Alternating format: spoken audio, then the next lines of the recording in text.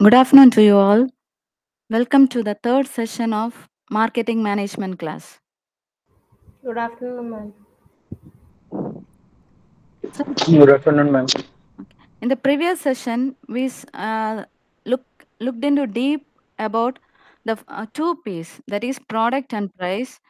Today, we'll be looking into the other two P's, that is promotion and place, okay, or promotion and distribution. Before going into the promotion process, first we have to know what is communication. So, according to W.H. Newman and C.F. Summer, they have defined communication as communication is an exchange of facts, ideas, opinions, or emotions by two or more persons. That is dissemination of information from the mind of one individual to another. Some something which the sender or the person who starts the communication process wants to convey the same process in the same sense it's received to the other end that is to the other person or the receiver. That is what is a proper communication. When i explain it in other terms just take an example of our li- online class. So i am the sender or the source or the starter of the communication whatever i'm trying to communicate to you whatever lecture i'm giving to you that you should understand in the same sense what i have in my mind. That is what is a proper communication. So any communication process consists of eight essential components. That is sender message channel receiver feedback environment context and noise so these are the eight essential components of communication process. So this is the diagram. So first it starts with the center then encoding message channel receiver and then decoding. After the receiver receives the message he has to send the feedback to the sender this is a proper communication process. In the in between there will be hindrances in the name of noise or some disturbances. So sender is also known as a source. That is the beginning, beginning part of the communication. The, who starts the communication process he prepares he prepares himself and sends the message. So the message is the stimulus created for the receiver or audience. In order to make the message available to the receiver a channel is used. It is usually the way in which the message travels between the source and receiver. So through some channel the sender of the uh, information or the message they'll be using some media of communication or a channel of communication. Through that channel they'll be communicating to the receiver. So we we are using the google meet platform. Similarly if a person is speaking through a telephone they'll be using the telephone as a platform for communication. So the receiver after getting the message from the sender he analyzes and interprets it properly and responds to it which is called the feedback. So receiver as soon as he gets a message from the sender the receiver properly analyzes the message or the information and interprets it only when he understands the message properly he can respond to the message that is the response given by the receiver to the message that is what is known as the feedback a communication process is completed only when the receiver gives feedback to the sender. Without feedback, there is of no use. So only when the sender receives the feedback from the receiver, then only the communication process will be complete. So uh, we are all uh, daily receiving some information or uh, details about products or some services available of uh, or some products offered by other companies or some brands through newspapers, TV, radio, hoardings on main roads, mobile phone, social media, etc. So, through the uh, daily when we uh, read the newspaper, we can see many advertisements of different products. So, when we on the TV, we can see some ads. When we are on the road, we can see some banners of some advertisements. So, in uh, social media, ads. So in this way, we are uh, daily receiving some information and details. In this way, the com- uh, the company or the brand is trying to communicate about their products or services to its potential and existing customers. So, commonly in marketing, this communication between the company and its consumers or the customers, that is what is known as marketing communication, or we call that as promotion. So, it is aimed to inform or remind or pursue the target customers so that they buy the company's product or services. So, main purpose of this communication or marketing communication is to inform the customers about the products to re- remind us about their products availability or to convince and or persuade us so that we'll go buy the product.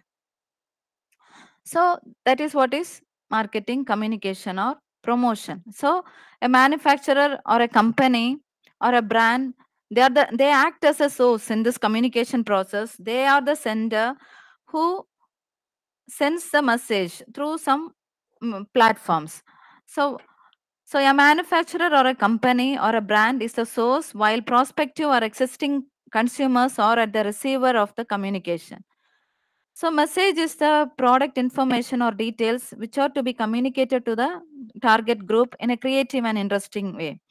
The, the channel is uh, uh, the channel is various media options such as newspaper, TV, radio, magazines, hoardings, etc., which can be used to reach the target audience. So they'll be using different channels for reaching the target market or the uh, target customers. So they'll be sending information related to their products or the brands available or they, are- they which they offer to persuade or convince the customers to buy their products. That's the that's the main motive. So or to improve or increase the sales volume. So the success of marketing communication depends on the company's ab- avail- ability to convey the message effectively in a manner in which the customer should understand and interpret the intended message. That's what i said. When the receiver properly understands when the receiver properly interprets the message only then he can send the feedback right? So similarly the company when they're conveying the message through th- uh, through some platforms effectively only the customers will be able to understand what they're communicating and they'll be interpreting properly. And after that they'll be sending a response in the way of purchase or something like that. Or at least if they are con- conveying to some other friends or family members related to the uh, product they heard of that is also a good feedback so, a marketing communication is considered effective if it achieves its objectives, such as increased sales, improved brand recall, increased awareness, etc. So, when a promotion or a marketing communication is considered effective, means only when it achieves its objectives. So, what are the main objectives? Increase sales to improve the sales volume, to improve the brand recall. That is, remember the brand, increase the awareness of the product, and so on. So this is equivalent to the feedback as discussed in the process of communication. So this is what we discussed as feedback in the communication process. So so the this communication between the brand and the company with its potential or existing customers is known as marketing communication or promotion. So it is defined as organization's unique set of communications that is a stimuli designed to influence. Influence means either to inform about the product, to persuade us, or to remind about the product products. So to influence selected target audience into desirable responses. This is what is promotion. So there are so we know right four P's of marketing mix in that.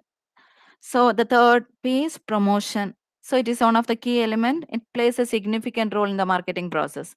So here we are again learning the elements of promotion mix that is four things that is advertising sales promotion personal selling public relations. So marketing mix we learn the four p's that is product price place promotion. So similarly we are going to learn four elements of promotion mix that is advertising personal selling sales promotion and public relations so the elements of promotion mix are employed by the firm for the purpose of creating awareness, for building their image, and for sales. So every one of us are coming across various promotional mix elements daily. So when we read a newspaper, that is what I said you before. In the morning, when we read a newspaper, we'll be seeing some ad in the newspaper or when we are watching some tv channel in between some favorite programs we can watch some ads. When we are uh, watching some music videos on the youtube in between you can view some ads. Or when we uh, visit a nearby shop for shopping or so- uh, something like that to buy a product so we can see some boards some banners or some hoardings on the street wall paintings. So these all are the elements of promotion mix. So daily routine life when we are going through we are uh, seeing all the elements of promotion mix. So first one advertising. So you're all aware what is advertising. Every day when we are watching tv or whatever we are Uh, seeing these ads advertisements. So it is defined as any paid form of non-personal communication that seeks to inform customers and to persuade them regarding its product offerings and services that it offers. That is it is a paid form of non-personal communication. So main purpose is to inform customers about their products to persuade them and convince them in such a way that rea- they react to this ad by the way of purchasing the product so this is what is advertised. So newspapers magazines internet radio these are all the some, uh, some of the media vehicles through which they carry message for the customers. Next one is publicity and public relations so public relations mainly is any form of communication that fosters a favorable image for the retailer among its public. So we have heard of public relations normally. So for the public uh, public may include consumers investors channel members anyone. So for creating some favorable or a positive image for the retailer among the public that is what is public relations. It may be non-personal or personal. It can be paid or non-paid it can be a sponsor controlled or non sponsor control whatever. That that is what is public relations. Creating a favorable or a positive image among the public that is public relations. So publicity is any non-personal form of public relations. So where messages are normally transmitted through mass media the time or space provided by the media is not paid for. And there is no identified commercial sponsor. So there will be no sponsor. It is an non-personal form of public relation. Here it need not be paid and it is non-sponsor controlled. That is what is publicity. So it involves news releases press conferences media kits social media pages community relation uh, programs some conducting some events and so on so these all are done mainly for the publicity of the product or the company so public relations is both personal and non-personal, paid and non-paid, sponsor controlled or non-sponsor controlled, ma- mainly to create some favorable image for the retailer among the public. But uh, this publicity is a form, non-personal form of public relation. Here, the messages that are transmitted are normally not paid and not sponsor controlled. So next one is personal selling. You have uh, faced. Uh, they'll be coming straight to the home when we uh, go to a supermarket. They'll be coming towards the salesperson. Will be coming talking to us personal. That is face-to-face interaction. So it is a one-to-one communication for the purpose of explaining, informing, and demonstrating in order to make a successful transaction. So their main purpose is a successful transaction. Okay. So for uh, they'll be coming to us uh, we'll be having some one-to-one communication. They'll be explaining about their products. They are they'll be demonstrating the product. They'll be informing about the product. So it, it is a face-to-face interaction or confrontation between the salesperson and the buyer. That is what is personal selling. So next one sales promotion it is defined as an activity or material that acts as a direct inducement offering added value or incentives to customers for a limited period of time. So uh, it is one of the promotional activity. No, uh, normally uh, for uh, inducing the customers or through some uh, incentives like coupons, contests, discounts, gifts, and so on. So so for uh, making and getting an im- immediate response from the customers, they'll be initiating these type of activities, sales promotional activities. So these are the strengths and limitations of the elements of promotion mix. So first one, advertising. Second, publicity and public relations. Third one, personal selling. Fourth one, sales promotion. So the strengths when we compare, you, you can see that strength of the promotional mix and limitations also. So next important one is integrated marketing communication. We call that as IMC. So when the customer, we know, right, the behavior of the customer is changing. Not it's uh, nowadays when you see the consumer of products, they are not switching on to the same brand. Uh, they are not sticking onto the same brand. They are switching, right? Uh, so their behavior is changing time to time. So with the changes in consumer behavior over time, companies started looking for marketing communication in a broader perspective. So the emergence of new technology and media options has made the marketers sh- to shift their focus towards more comprehensive promotional approach so this well eh, co- coordinated and integrated communication effort used by the company to create a uniform image of its products or brands is known as integrated marketing communication. So a comprehensive well coordinated and integrated communication effort normally used by the company to create a uniform Im- image of the product or service provided by them. That is what is known as integrated marketing communication so it brings together all the tools of mark- marketing communication to direct consistent messages to the firm's consumers. So it is one of the strategic integration of all the elements of promotion mix and other marketing activities. So uh, it is uh, they follow a strategy in such a way that integrate all the elements of promotion mix together with some other marketing activities also like event marketing sponsorships below the line activities digital marketing. So they'll be mixing all together they'll be integrating all together to send consistent messages to the bu- uh, buyers of the company's products or services.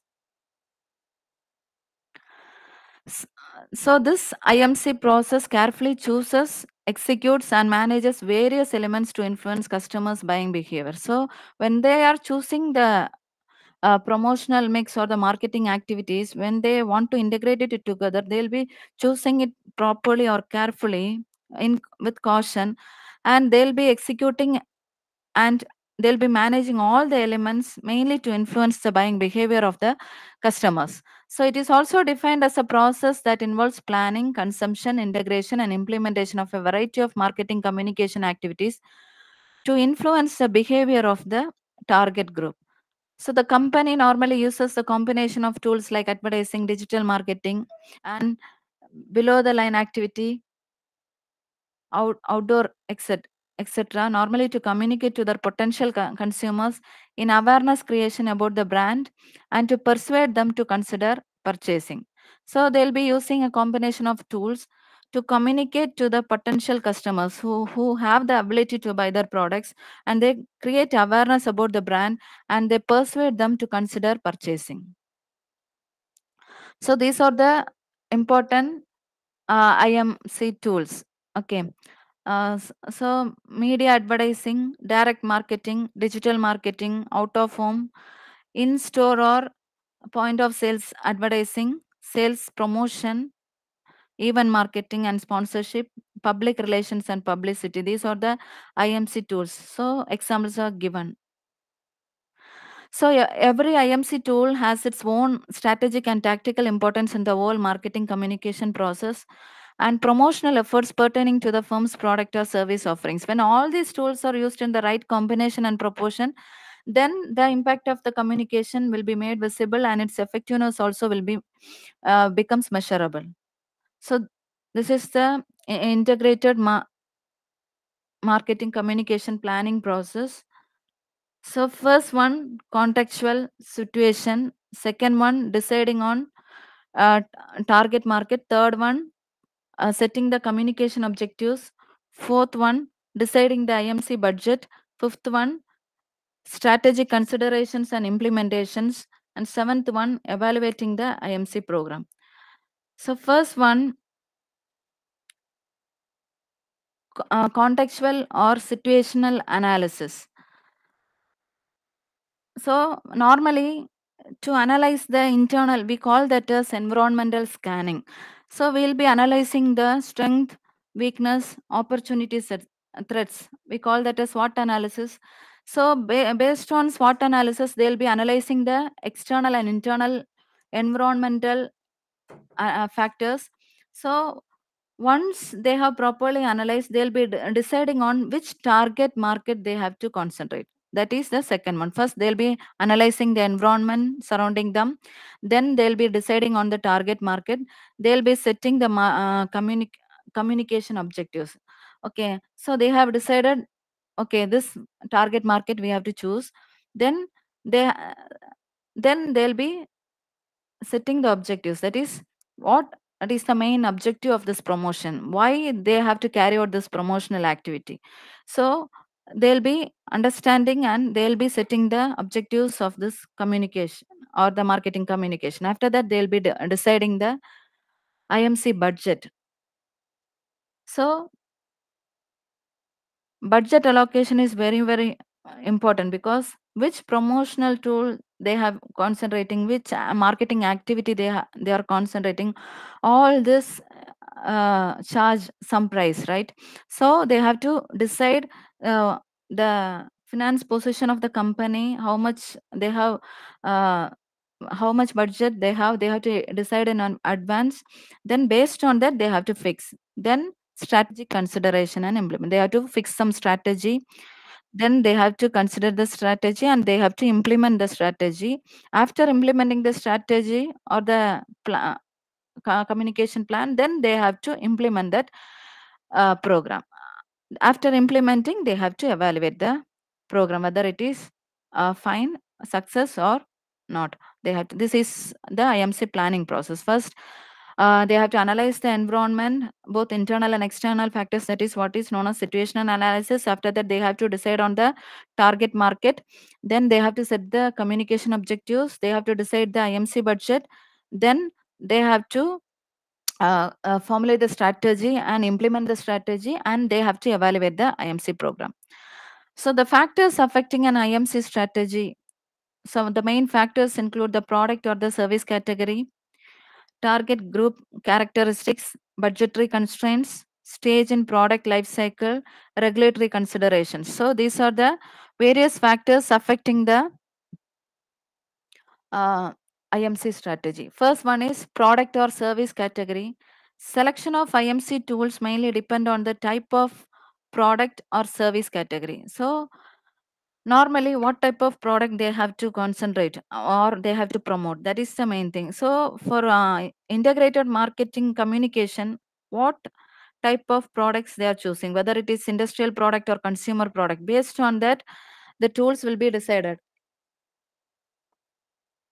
Then so products or services which are technical or industrial in nature they require normally personal selling while uh, common uh, consumer products like uh, biscuits or they need advertising and sales promotion then based on the target group of uh, customers their characteristics whether demographic characteristics or geographical characteristics based on that they'll be uh, fixing which uh, communication or integrated uh, marketing communication they have to adapt. So factors such as demographic and geographical characteristics of target market assume a very significant role in designing the IMC stra- strategy for a brand.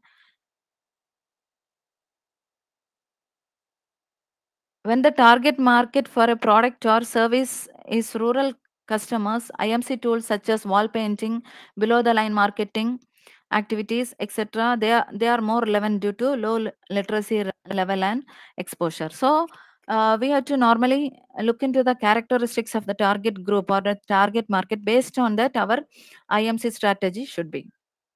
Next one budgetary constraints. So the budget outlay and availability of funds. As i mentioned before budget plays a main role. So based on the budget allotment they have to fix the uh, imc tools to be adapted okay or the strategy to be adapted. The budget outlay and availability of funds with the firm is another factor which determines selection of IMC tools and strategy. So media advertising requires huge budgets while public relations and publicity are considered to be free of cost. So it also affects the reach and frequency of decisions. Multinational companies, big, big corporate group of companies, they'll be having huge IMC budgets.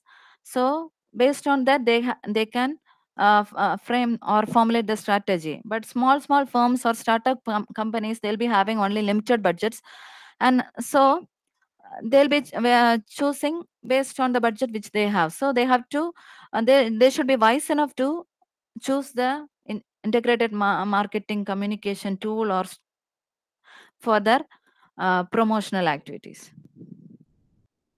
So next one, stage of product life cycle plays a major role. So last class we learned, right? Product life cycle, four stages, introduction stage, growth stage, maturity stage and decline stage. So uh, whenever we are uh, concentrating on this um, uh, IMC, so we have to look into in which product life cycle stage our product is or our brand is that they have to look into consideration and based on that they have to choose the IMC tools. The stage of the PLC of a brand and its readiness and other allied factors of product or service offerings are essential and should be considered accordingly.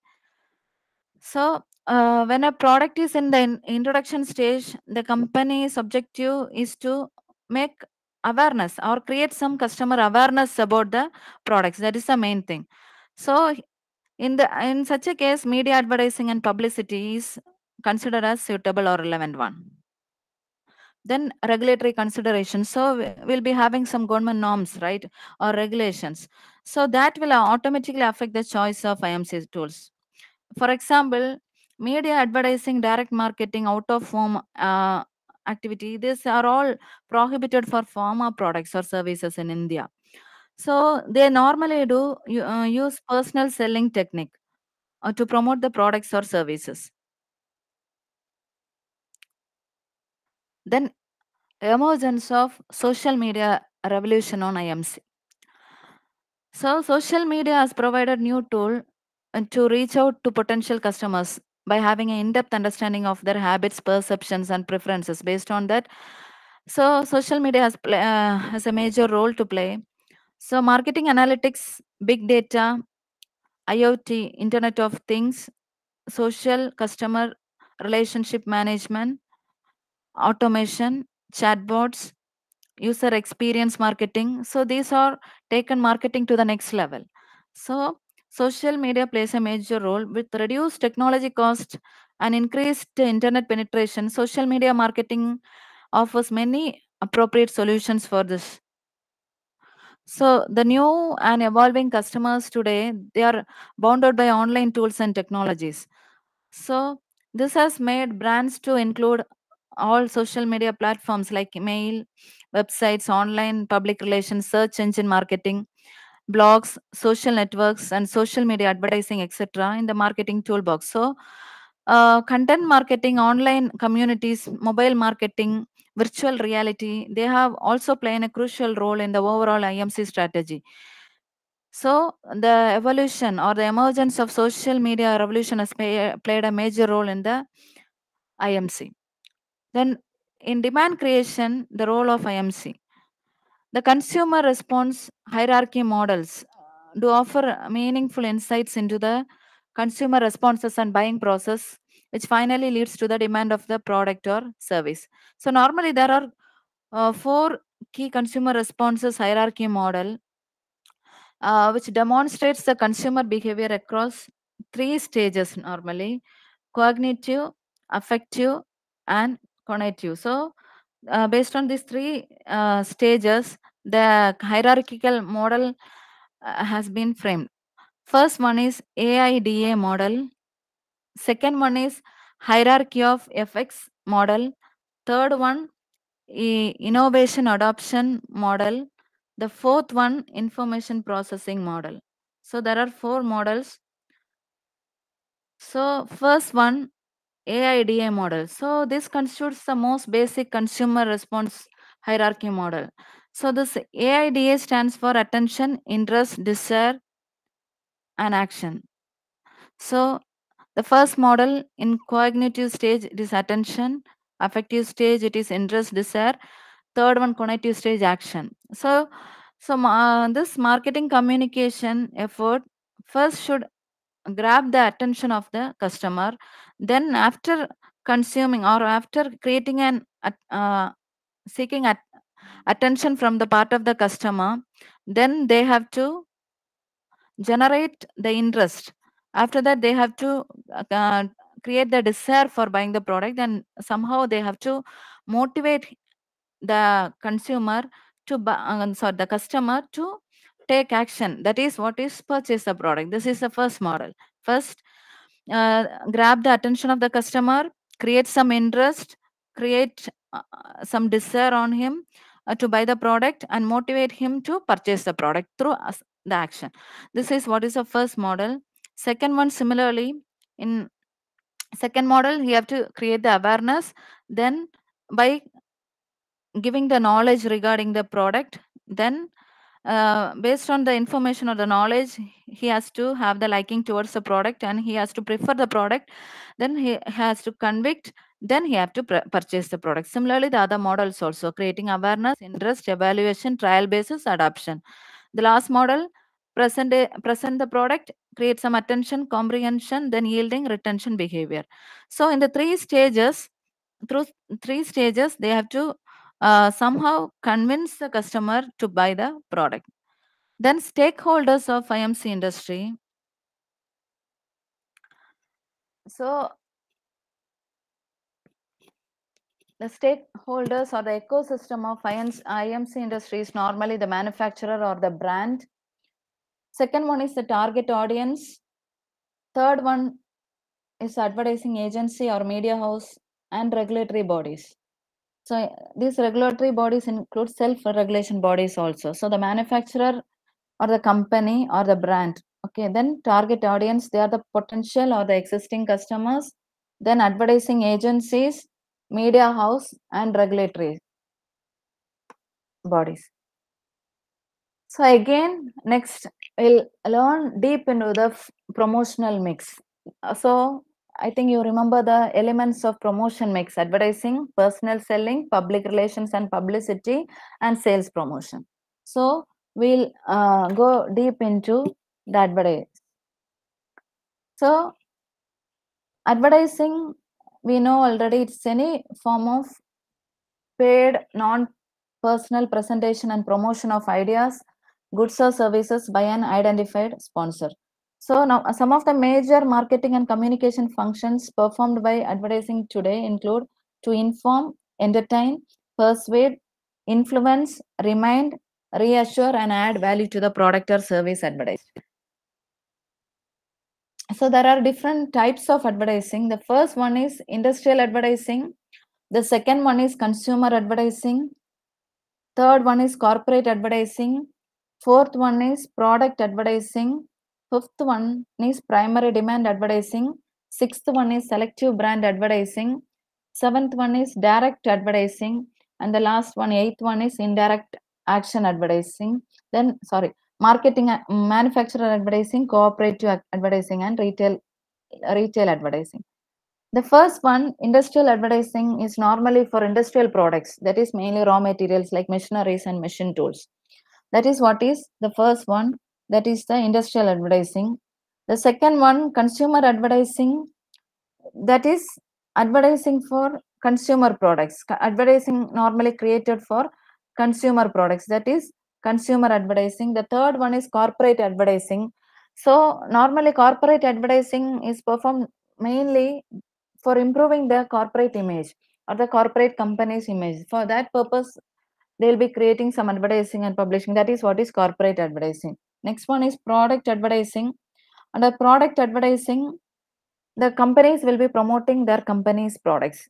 For that purpose, they'll be, that type of advertising is known as product advertising.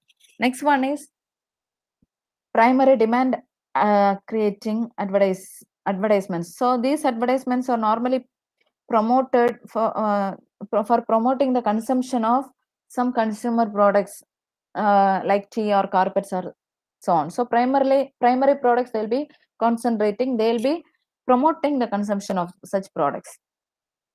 Next one is selective brand advertisements. So they'll be and the particular company will be offering different different brands. So they'll be selecting a particular brand brand. They'll be advertising for that particular brand only. That is what is selective brand advertising.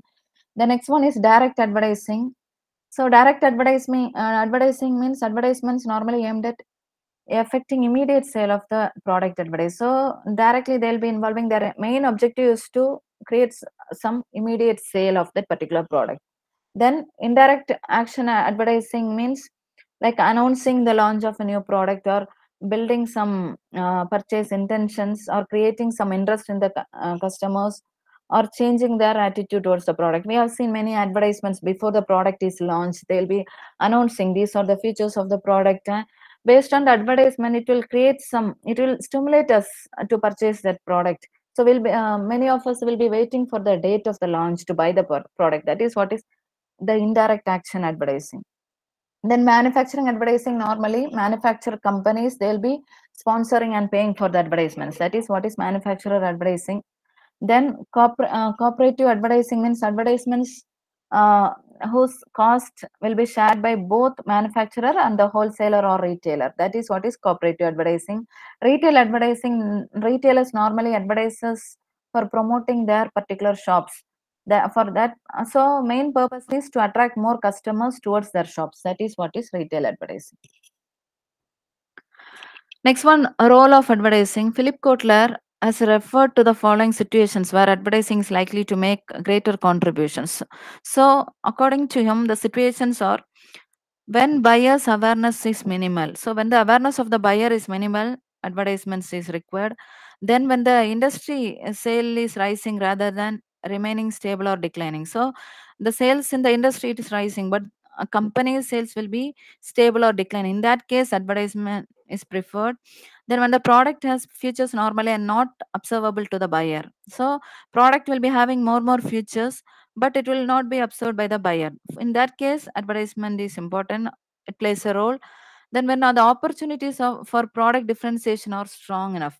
In that case also advertising is important then when primary instead of secondary motives can be taped. So important primary motives uh, sh- can be taped in that conditions also the advertising plays a major role. So according to richard h. Stanfield he's he has said in in case of advertising uh, this cannot be done. What all the things which cannot be done that is a bad product cannot be sold twice. Or a product which is overpriced or uh, otherwise non-competitive product cannot be sold then poorly distributed product cannot be sold. A seasonal product during non-season or out of season cannot be sold. Then products to uh, persons no, having no use for them or uh, we call that as obsolete products that also cannot be sold. If we work overnight and we try to advertise it's not possible. It doesn't work. Then do the selling job alone only single one uh, without any group work uh, performing a selling job that also cannot be done. So these are the things given by Richard H. Stanfield that cannot be done. Next one is uh, advertising management. The basic decision areas normally in advertising is setting the objectives for advertising, determining the budget of advertising, developing and developing the advertisement copy and a message, and the selecting the scheduling media, measuring the advertising effectiveness. So these are the basic decision making areas in case of advertising. First, the objectives for the advertisement should be set. Second one, that is, uh, ad, uh, advertising budget should be determined. Third one, the advertisement copy and the message, advertisement message and copy should be developed. Fourth one, the media should be selected and scheduled. Next one, the advertisement effectiveness should be measured. So first one, the advertising budget. So this is what I explained before itself. The budget plays a major role. So uh, we have to consider the budget. We have to allow uh, uh, fix the decide on the budget first. Then we have to go on to the next process. So money plays a major role. So Ma- so money concerns on all the budgets for collective advertising. So this can apply to the media use the geography of the advertising and the demographics the advertising normally targets. This also concern how long the advertisements run and with what products they are associated with. Normally uh, when they are fixing the budget for the adver- advertisement they have based on the budget they have to fix which media. So through some pla- media platform the cost will be less and some media platform it will be more. So based on that budget uh, they, that has to be selected. Then geographical area of advertising the demographic factors of the target market. That is the main thing. So these all should be uh, considered. Then next one how much time or how much uh, uh, days the advertisement run? It is is it for a short term or a long term? And with which products they are normally associated with? These are the things to be considered in case of uh, uh, choosing the advertisement budget. So depending on many of these factors the advertisements could be more or less expensive and effective. And so uh, if uh, so the if these factors are not considered properly what will ha- happen means it will affect the overall budget process of advertisement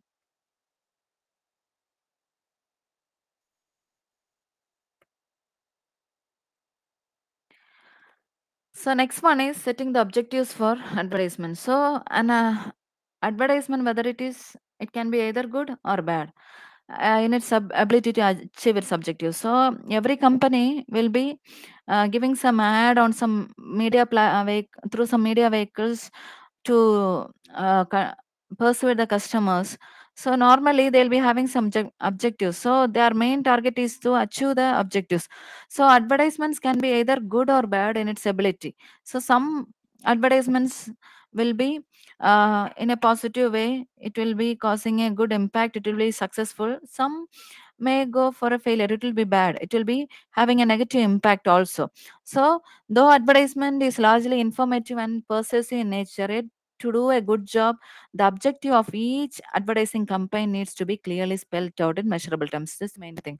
So whenever we are concentrating on the advertisements uh, so it is normally for persuading the customers. So it, it should be largely informative. So for doing a good job so each objective should be properly spelled out so in order to focus clearly on the target audience on the time period over which these are to be achieved. So the objectives of the uh, when the objectives of the advertisement is properly set then it will be the ad- advertisement will be very effective and it will be persuading the customers as well. So the main objectives of advertising are first to inform and build awareness, second one to create the brand knowledge, third one to reinforce positive attitudes about the brand, fourth one precipitate sorry precipitate buying action, next one to increase the sales and the other one is build up an image. So these are the main objectives. First the uh, the product should be prop the information related to the product should be informed properly and awareness should be created then uh, a knowledge about the brand should be created then positive attitudes and or attributes or the features of the uh, product should be reinforced into the mind of the customers then uh, they have to induce the buying action also. Thus they have to increase the sales of the product. They have to uh, build up an image. Next one developing advertising copy and message. So normally this advertisement copy it's the communicative portion of an advertisement. So there should be a headline illustration body copy and a signature line. S- uh, so identifying the sponsor of the advertisement so this is what is a, a main advertisement copy so mainly this advertisement copy through advertisement copy only the proper uh, the main content of the advertisement is being communicated to the, to the audience so Another component that plays a vital role in the development of the advertisement copy and formulation of a message is the role of the headline and illustration. So, headline should be uh, in such a way it should be developed. It should uh, convince and persuade, or it should uh, create a stimuli to buy the product. That in such a way the headline and illustration of the advertisement copy should be. So, it should be effect effective must establish a clear link with various stages uh, of the buyer adoption process. It should arrest the attention of the audience. It should inspire the interest. It should create desire, and uh, it should precipitate the action among the target customers. So it should use judicious mix of the aspects like advertisement layout, headline, illustration, and motivating appeal. So this all should combine together for giving an effective advertisement. So selecting the media plays a vital role. So ev- every products cannot be uh, advertised in whatever media we want. So base the media selection plays a major role. So uh, decisions related to media uh, planning. So which media should be used, when it should be used, how often should the advertisement should be placed in the selected media. These all plays a major role. So main purpose of this media planning is to optimize the communication reach the relevant audience within the value available budget. So within the uh, budget available, uh, so it should uh, somehow induce and it should create a positive feedback through the communication and it the communication should properly reach the targeted or the relevant or the pot- potential audience or the customers. So based so it should be planned in such the media should be planned in such a way that which media should be used and when and how often it should be advertisement should be used. For making efficient and effective media decisions it is necessary that a beginning be made by collecting appropriate data from internal and external sources. So for that they have to collect data from the internal sources and external sources. The data collected from internal sources include the objectives of advertising the advertisement copy strategy the features or attributes of the product the budget available by the company. These everything's are the internal source.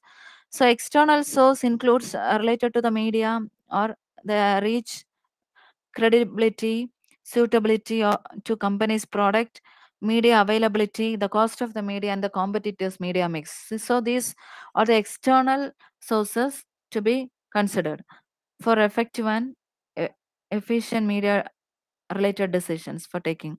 After the suitable and available media are shortlisted, then they have to subject to the evaluation criteria. So whether the uh, media through the media scheduling or the media plan will properly the advertisement through this media which we selected will properly reach the frequency of advertisement the gross rating point the comparative cost. These all should be uh, discussed.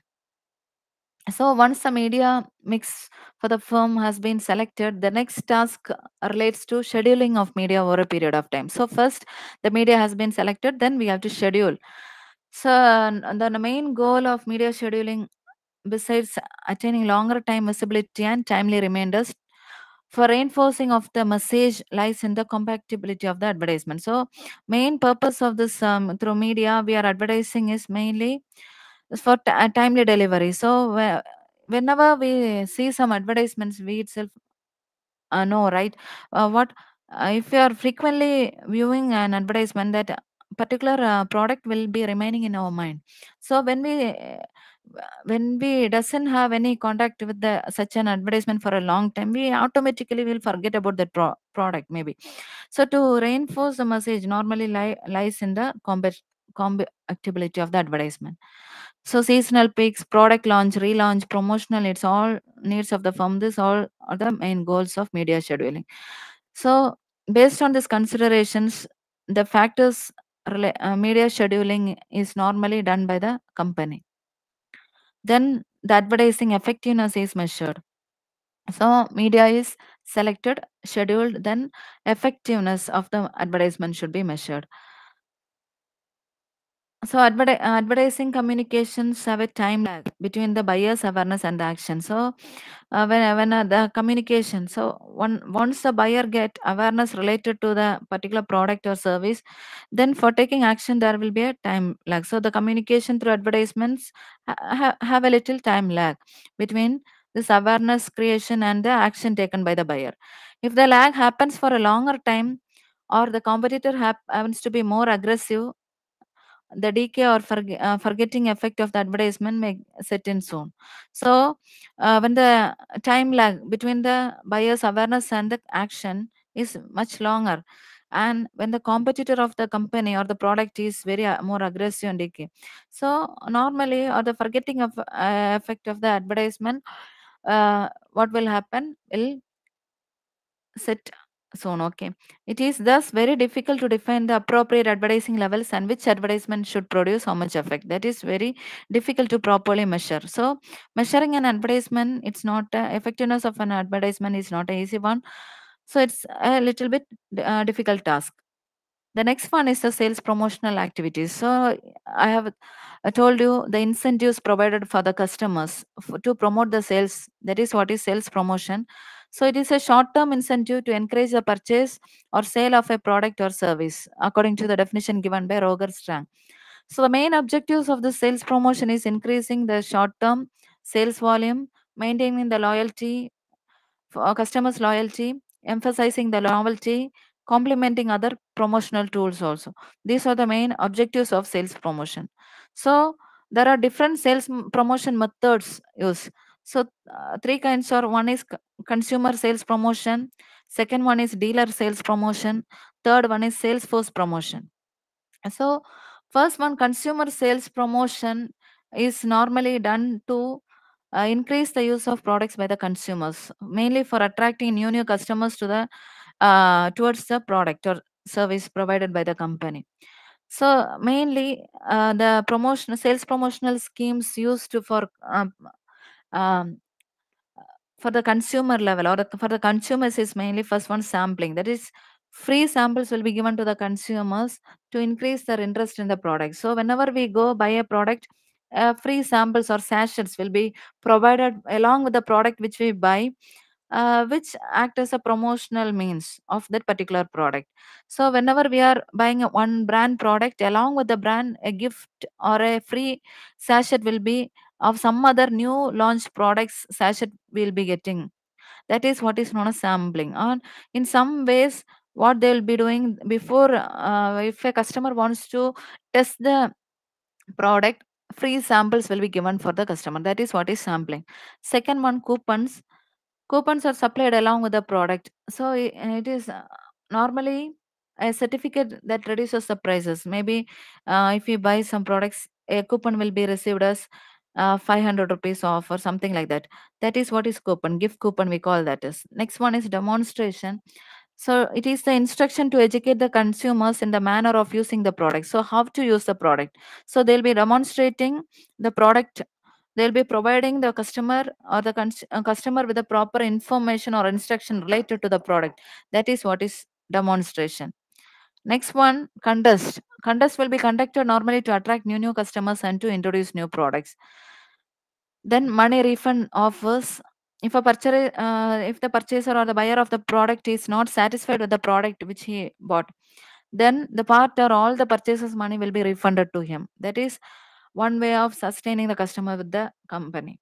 Then next one premium offers temporarily reducing the price of the offer or uh, giving uh, 25% extra or 50% free or so on. Reduction in price of the product that is what is premium offers.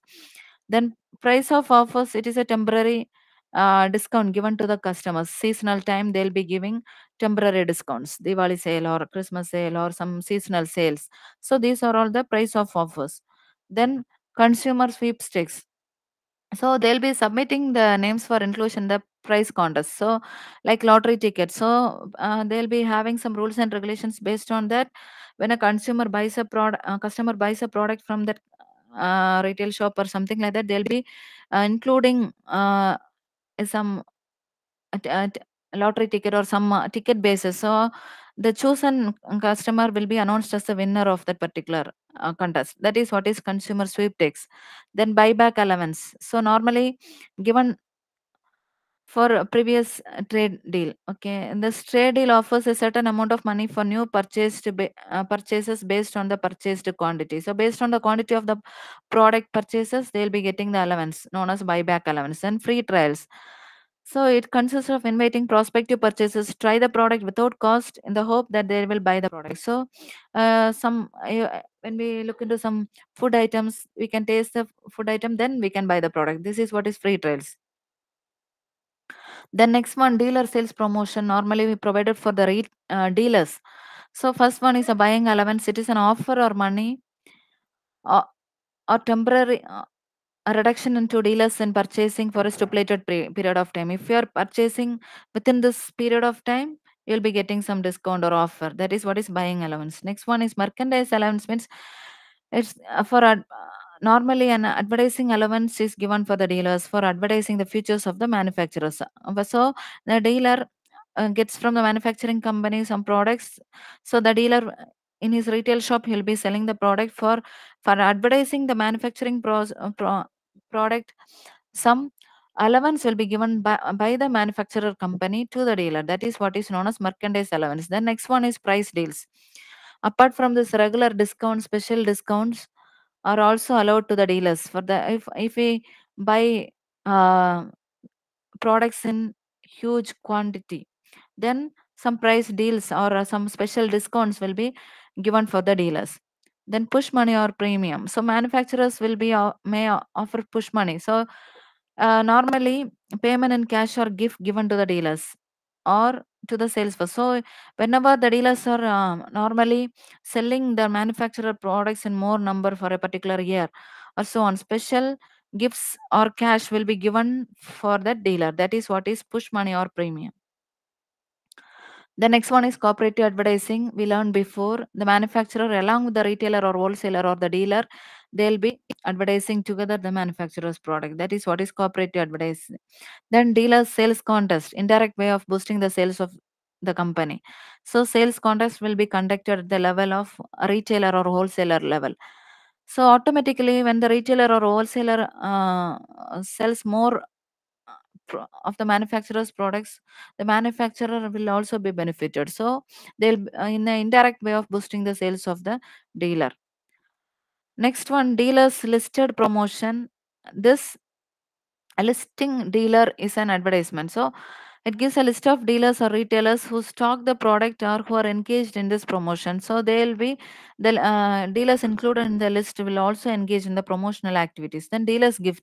Manufacturers will be given uh, sorry uh, good gifts for the dealers.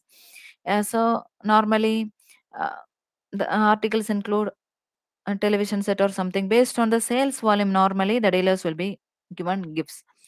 Then point of purchase it plays the role of silent salesman. So this point of purchase is a dealer aid and dealer displays or dealer hopes. So uh, from the point the purchase point that is what is a it plays a it acts as a silent salesman. So displays for dealers you have seen in some shop uh, retail shops. So along with the retailer shop's name you will be seeing some ad of some products. This is what is known as point of purchase. The next one salesforce promotion bonus to salesforce. So uh, the salesperson who is uh, promoting the products and selling the uh, more products they'll be given some bonus. Then sales force contest contest will be conducted for the salespeople and the winners will be announced based on that. Then conferences salesman will be uh, educated and inspired and rewarded. So they'll be encouraged to attend the meetings and conferences and uh, discussions will be done along with the salesman. So it is just a motivating factor for the salesman. This is uh, related to sales force promotion. So these are the different promotional act kinds of promotional activities consumer sales promotion dealer sales promotion and sales force promotion. Then steps in planning sales promotion. So first step for planning sales promotion is to assess and analyze the present situation of the brand.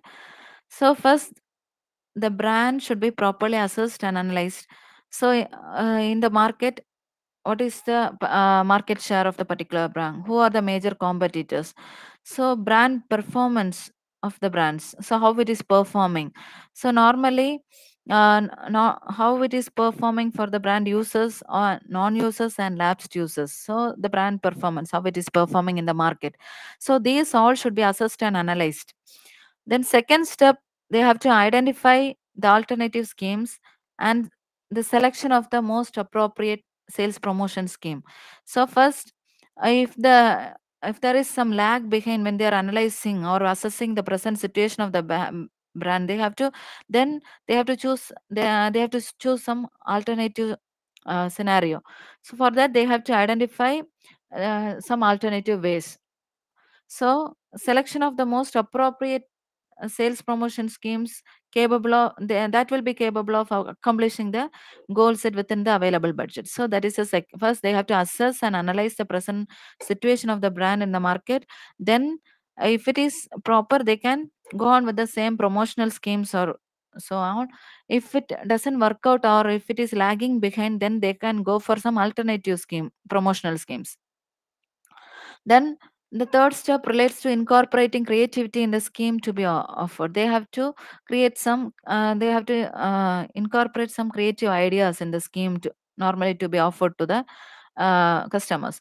The fourth step uh, sorry step relates to legal validity of the sales promotion scheme. That is to be considered the va- legal validity of the uh, scheme which they are providing or offering to the customers. So legal validity plays a major role. The next one is the fifth step. It covers the primary de- decisions or the important decisions related to the timing and the duration of the schemes to be offered location wise selection of dealers and the conviction of the trade and sales force about the appropriateness of the scheme. So primary uh, decisions should be taken and related to the timing of the scheme duration of the uh, scheme to be offered. Location wise the dealer should be uh, selected and conviction convey they have to convey the trade and sales force also. So the next step is covers the development of the evaluation criteria in relation to the sales promotion goal set. So they have to uh, they have to develop the evaluation criteria. So they'll be setting a promotional goal right? So that that has to be uh, evaluated properly and there should be a, a development in the evaluation process also. Seventh step relates to the monitoring the offer and collecting the relevant data and experience for further use as well as mid period correction. So it should relate to normally they have to monitor the offer and they have to collect the relevant data and experience so, which will be used for the future. That is the next step. Eighth step relates to the evaluating the effectiveness of sales promotion. In the context of their goals they'll be setting the goals. So the sales promotion techniques or the schemes which they have implemented is it effective or not? That should be checked based on on the uh, goals of the uh, particular organization so the first step is assess and analyze the present situation of the brand. Second one is to identify the alternative schemes based on the goals. Third one is to relate the incorporating creativity. So uh, so they have to incorporate the creative creativity into the scheme. So they have to relate the sales promotion scheme to the legal validity. They have to cover the primary decisions related to the time and duration of the scheme, etc. Next is to develop development of the evaluation criteria, then uh, monitoring the offer and collecting the relevant data and experience for further use. Then last step is to evaluate the effectiveness of the sales promotion.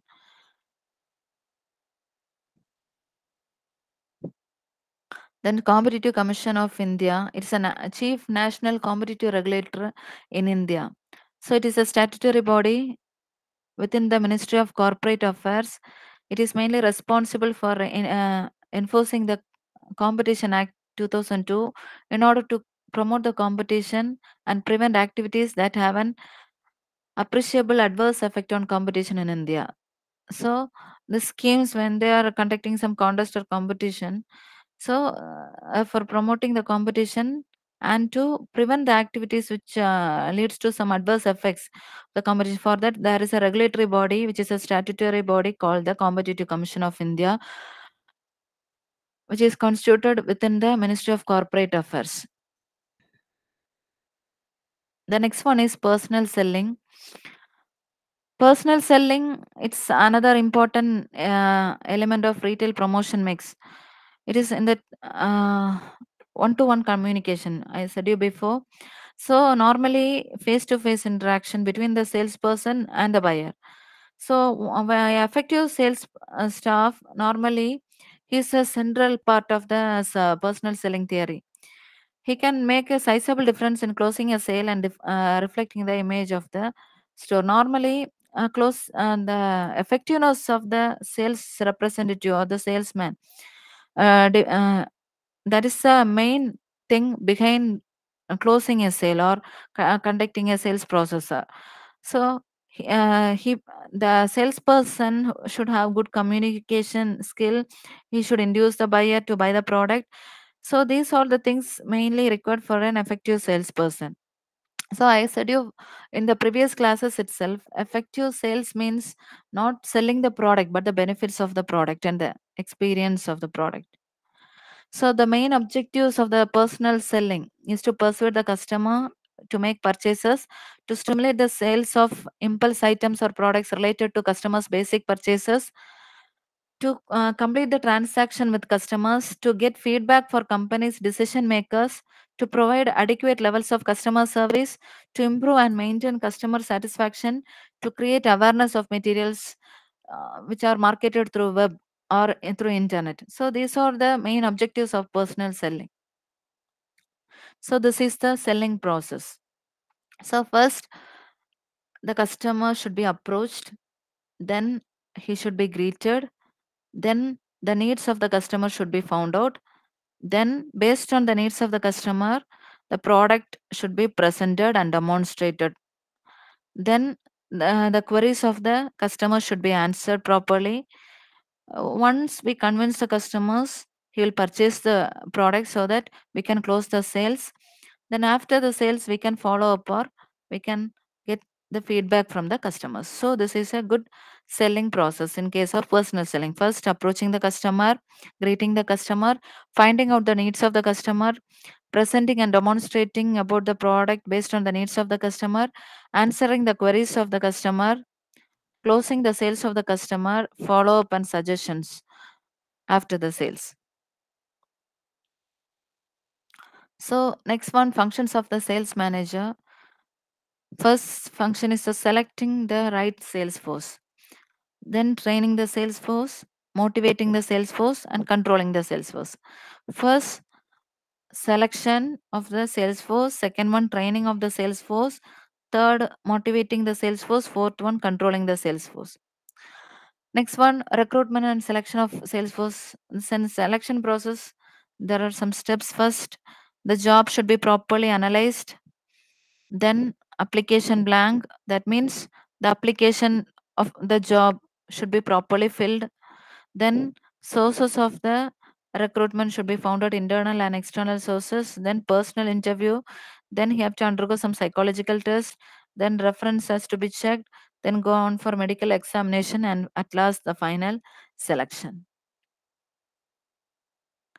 Then training of sales personnel so once a uh, salesperson is selected then he has to undergo training. So some factors to be considered for a good salesman is he he makes a more enthusiastic presentation. So the good s- sales personnel or a sales representative or a salesman should have a good presentation skill. Second one he has to he has he should have the ability to clinch the order.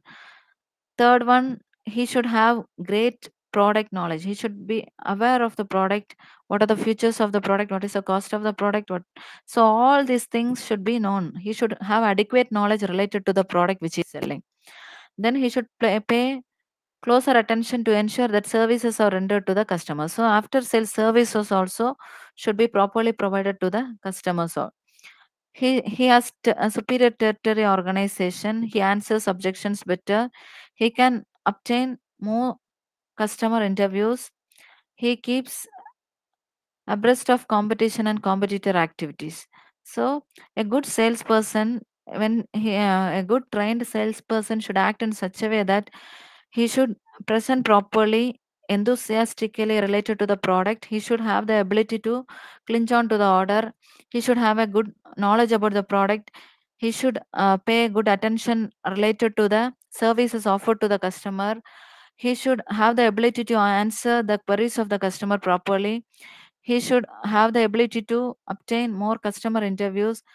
He, he should keep off the competition or the competitors activities. He should somehow have the ability to negotiate. Uh, he- uh, main thing behind the soft the skill which a good salesperson should have is a better communication s- skill that is mainly the persuasive communication we call that convincing the customer in such a way that uh, he, should somehow close the sale of the product So the main objective of the training are to give the following types of information to the main objectives is, is to give information related to the knowledge about the company, about the company products, about the customers, sales procedures. The he should be properly provided with the training that is mainly art of selling or the salesmanship. So uh, the sales good uh, salesperson should have proper knowledge about the company that is uh, the startup uh, the when the company was found what is the history behind the company the, what is the organizational structure what is the mission vision of the company all these things what are the product lines what are the product uh, products available in that particular company what are the main product futures all these things may who are the main competitors all these things he should know then who he should have good knowledge about the customers. So types of customers so the behavior of the customers will be different. So based on that he should have the ability to convince and he should have the po- positive attitude. And he should be patient enough to convince the customer. Next one he should have um, knowledge about the sales and other procedures which are prescribed that is how to get orders what forms should be filled up and the sales report required all this knowledge he should have. Then he should be trained that is uh, trained for salesmanship that is he should be trained for the art of selling. So the uh, types of training methods three methods that is telling method showing method and discussion method.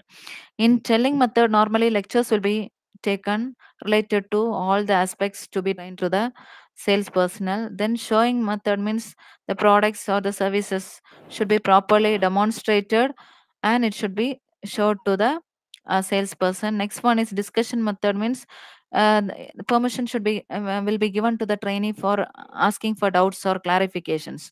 So he can clarify any doubts which is in his mind. That is what is the discussion method. These are the types. First one telling method. Second one showing method. Third one is the discussion method.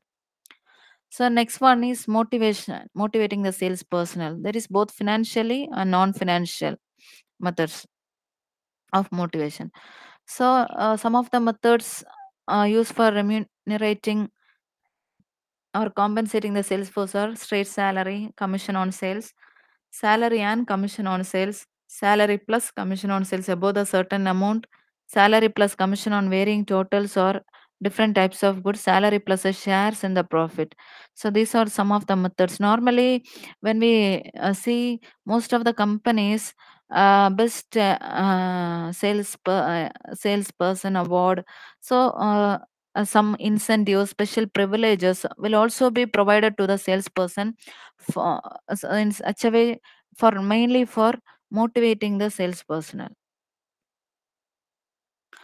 then controlling the sales, uh, personnel per, through personal contact or through some correspondence or salesman's report they can be properly controlled.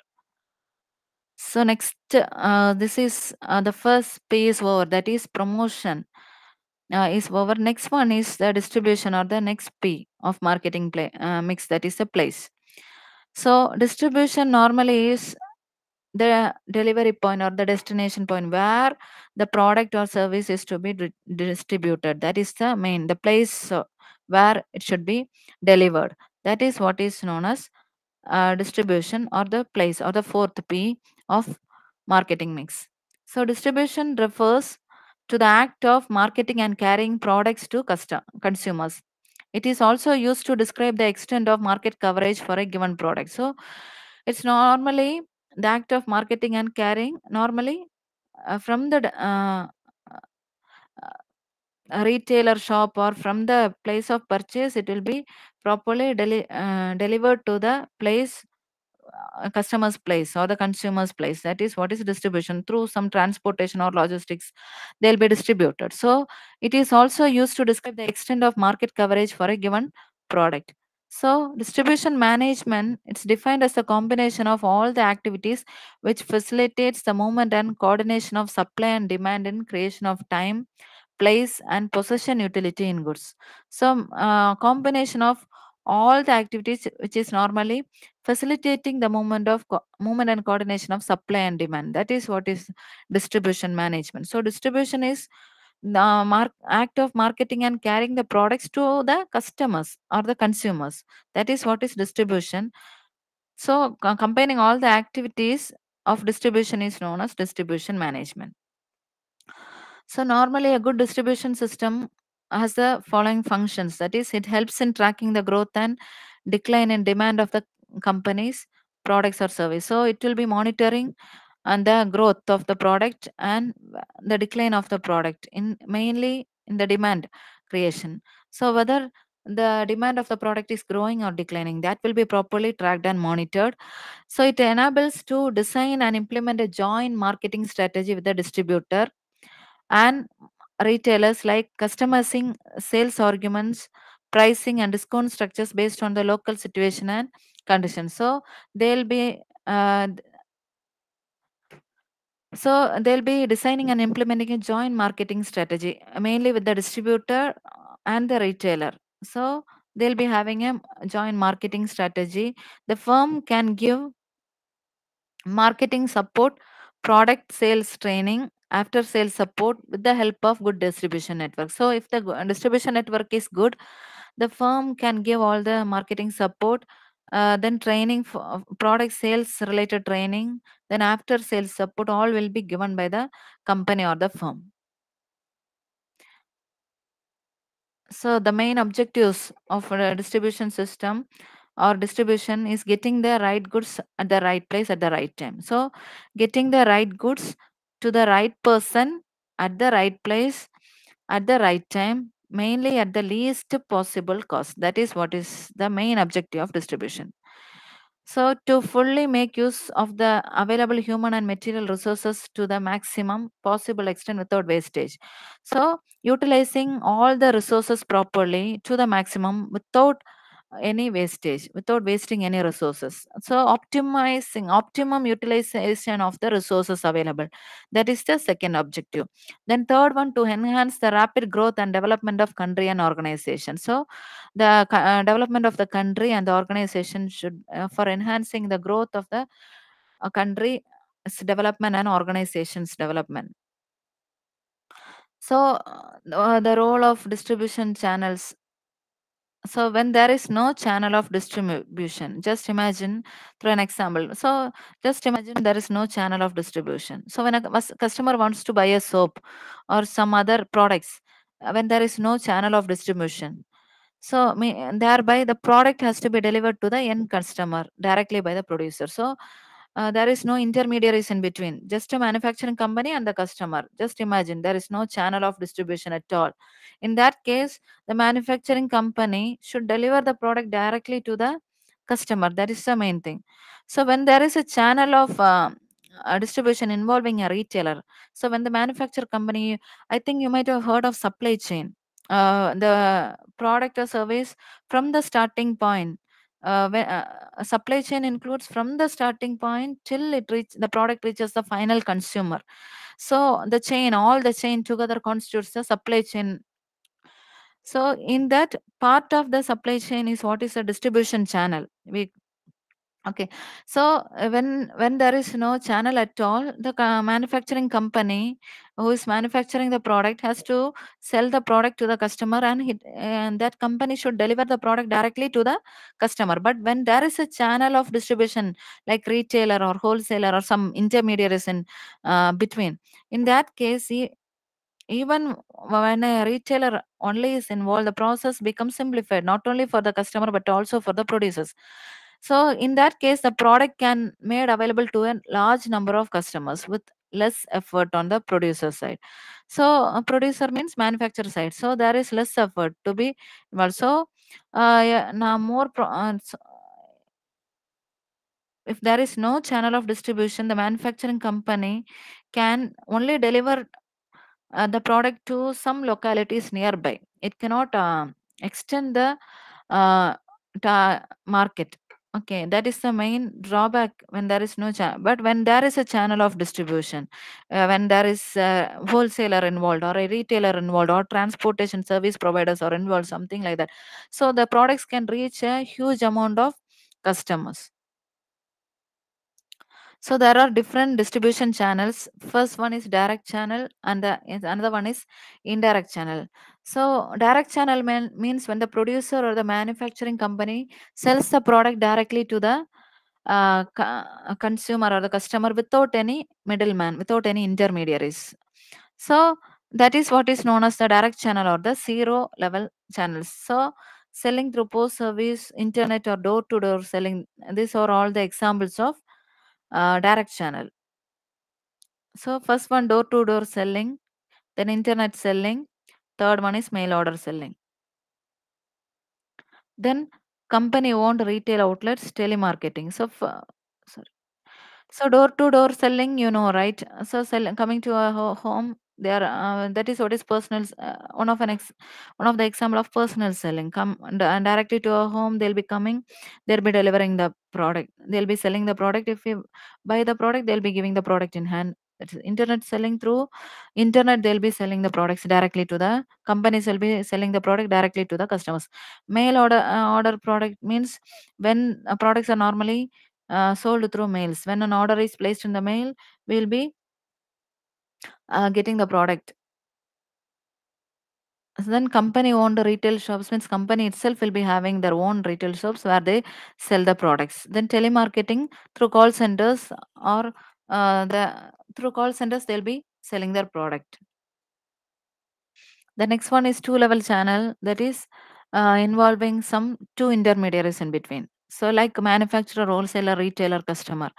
So here wholesaler, or retailer, they'll be acting as a intermediary or, or a link between the manufacturer and the customer.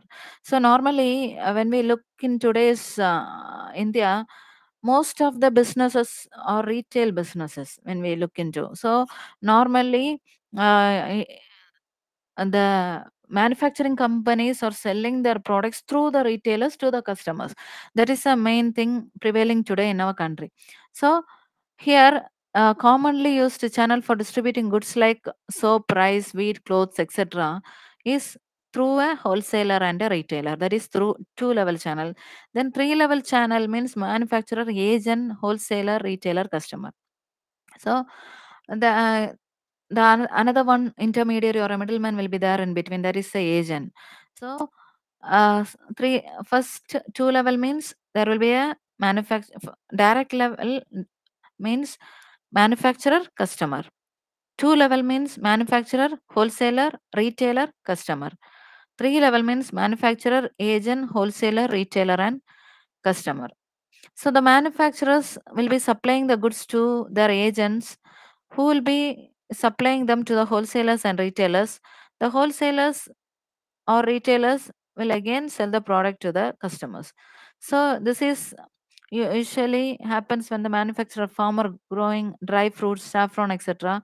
The deals they deal in limited products and yet want to cover a wide market. So they'll be marketing their products through an agent that will be passing through an exchange that is wholesaler then retailer it will be reaching the consumer the next one is indirect channel when a manufacturer or a producer uses the services of one or more middlemen to distribute goods it is known as indirect channel this is the most commonly used channel as businesses expand it is not feasible for companies to reach all markets directly the different levels of indirect channels or one level channel so in indirect channel, in direct channel, there will be no intermediary or middleman at all, manufacturer and customer. In indirect channel, there will be a mediator or a middleman. Okay, there will be a middleman.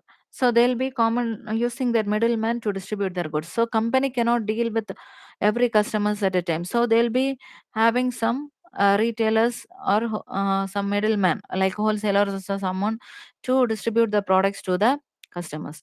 So one level channel means manufacturer, retailer, consumer. This is mainly uh, retail business is flourishing in our country. So uh, this channel includes only one middleman that is a retailer. So manufacture retailers uh, will be buying products from the manufacturing companies and they'll be selling their products. They'll be buying in bulk and selling in small small quantities to the ultimate customers. This is normally used for specialty goods.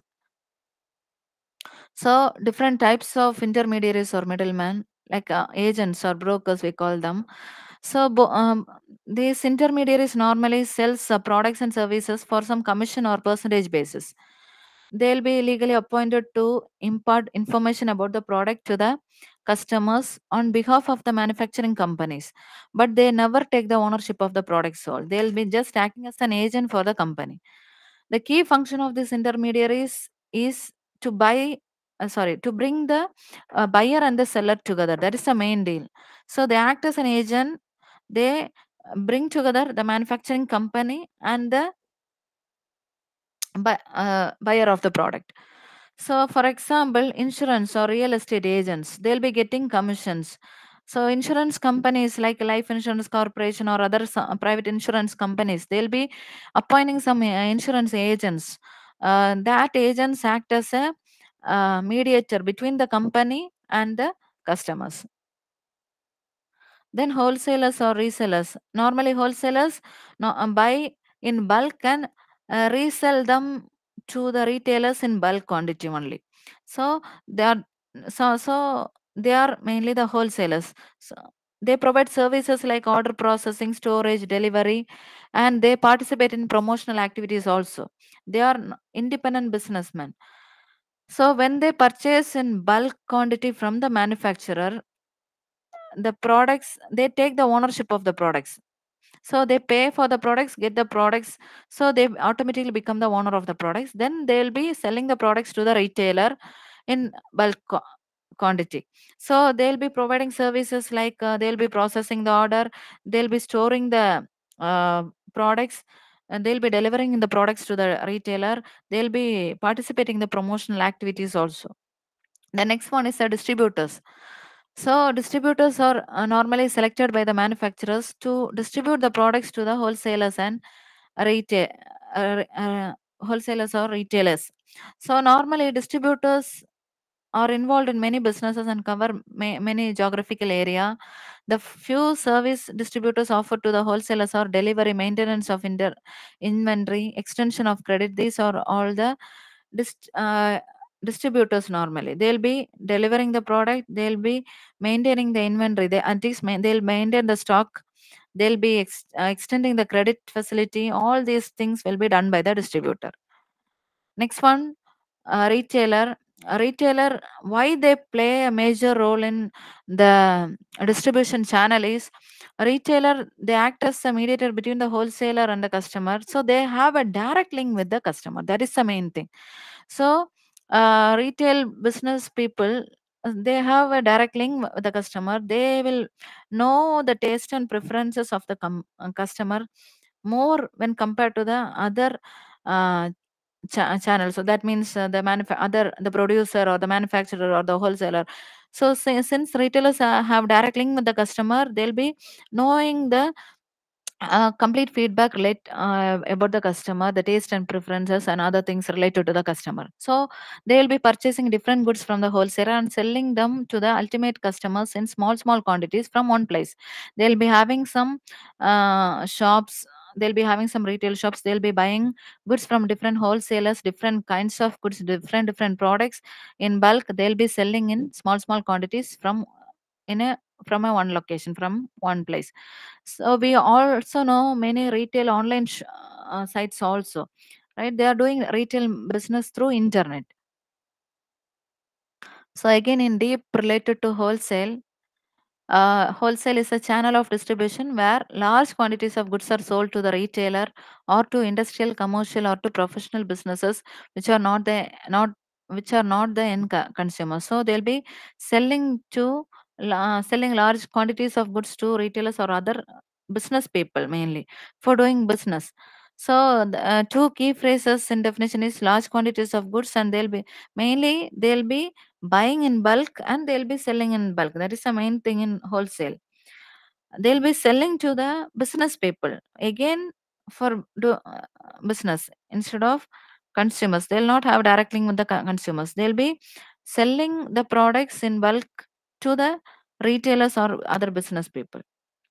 So it's a distribution process of wholesaler getting large quantities of goods and sell selling them to the retailers or other professional business. The distribution process is known as wholesaling. So the wholesale uh, or a distribution process is known as wholesaling. In simpler words, this is another uh, term for wholesaling. So who is a wholesaler? Wholesaler can be a company or a person that buys products in bulk from the manufacturer and sells them to the retailer. That person is known as, or that company is known as a wholesaler. So normally he's the middleman between the manufacturer and the retailer.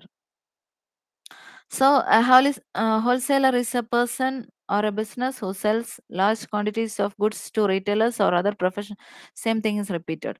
Okay, so example is uh, world's largest B2B marketplace Alibaba. So this is one of the example of wholesaler. So importance of wholesaler. So they'll be breaking down the bulk. So they'll be buying in big quantities and they'll be again breaking that bulk into small small bulks. That bulk quantity will be uh, so uh, sold to different retailers then they'll be providing in storage facility so uh, they'll be moving the burden of uh, storing away from the manufacturers so manufacturers products uh, wholesalers will be purchasing.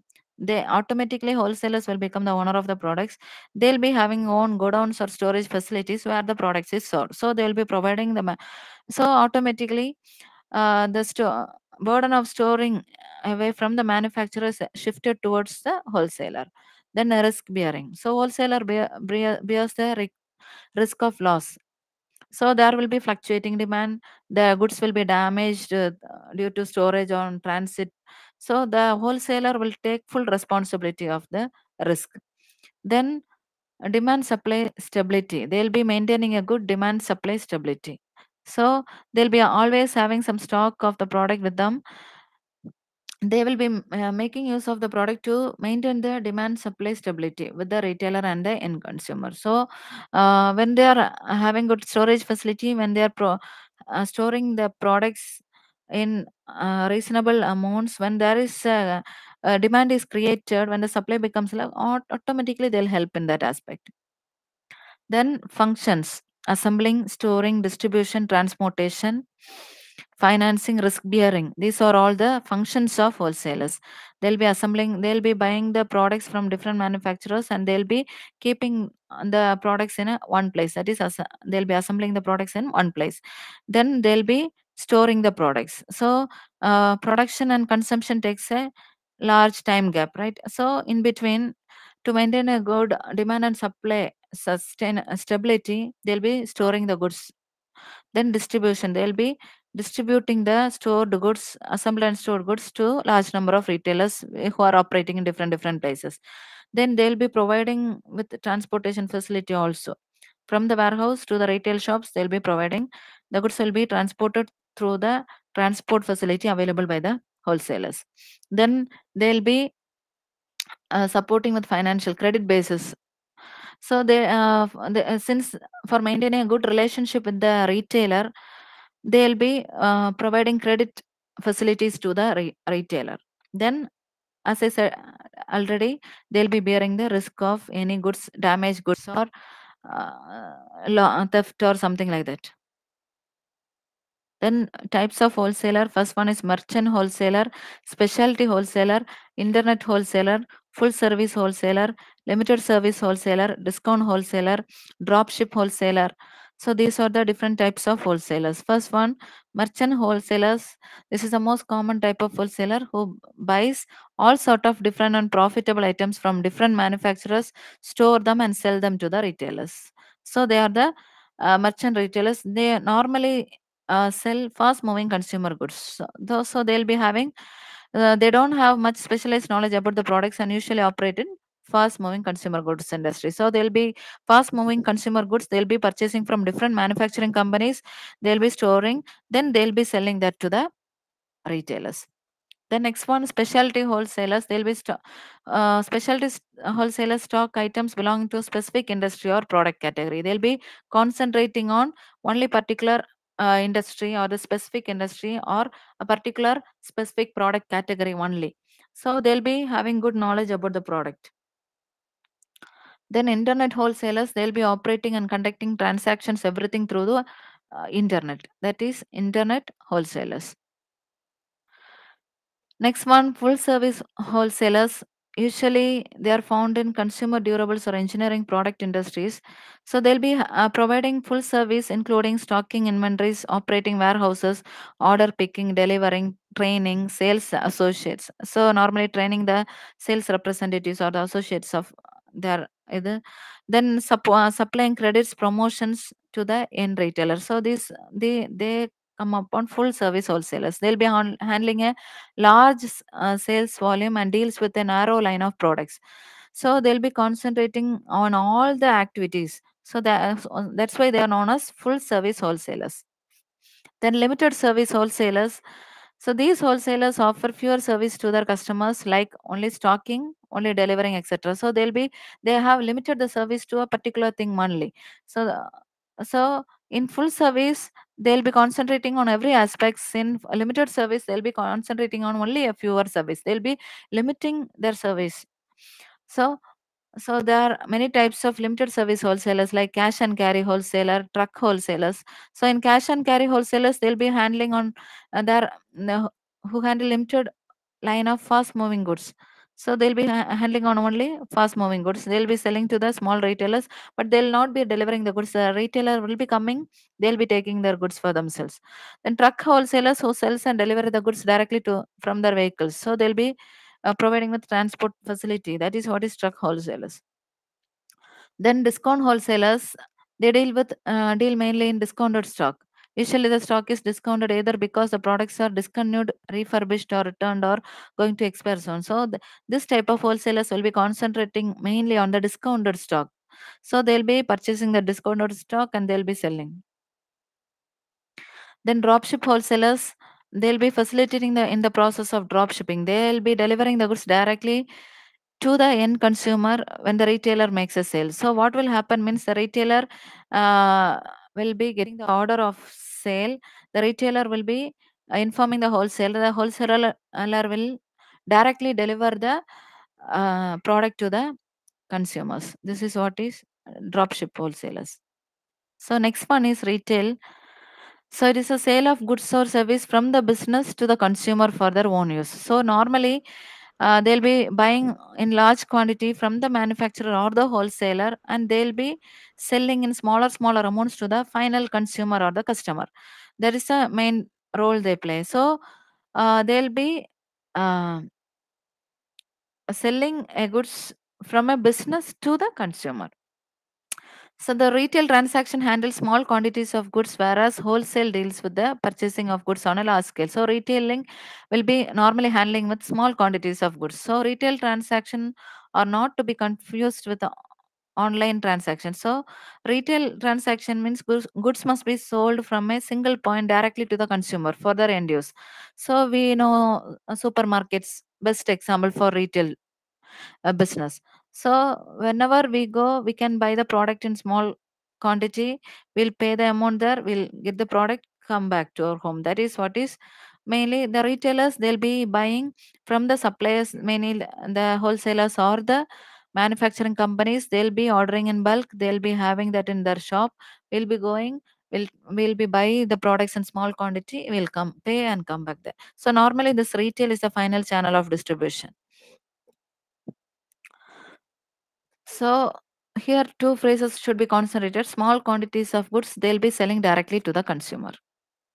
So retailer is a person or business who sells small quantities of goods to the consumer for their ultimate or the actual use. So normally retailers, the main categories of products that retailers sells include food, hard or durable goods, uh, soft goods, art goods, etc.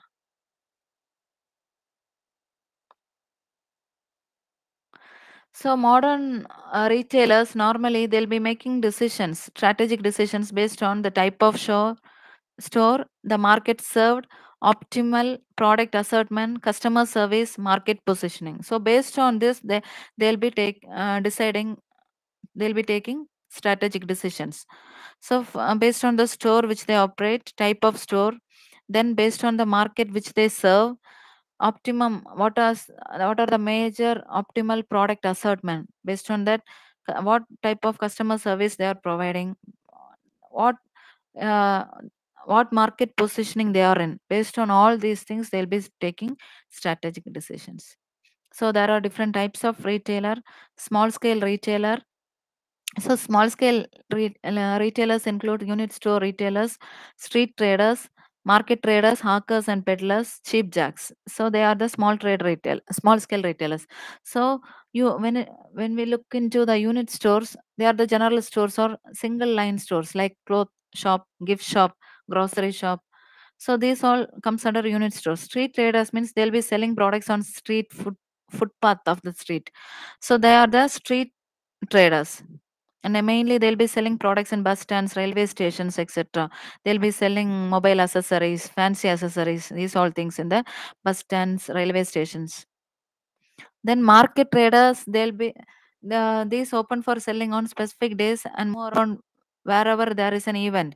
So market traders whenever there is some exhibition or some event or fest or something like that there they'll be opening a shop there they'll be selling items. That is what is market traders so next one is hawkers and peddlers.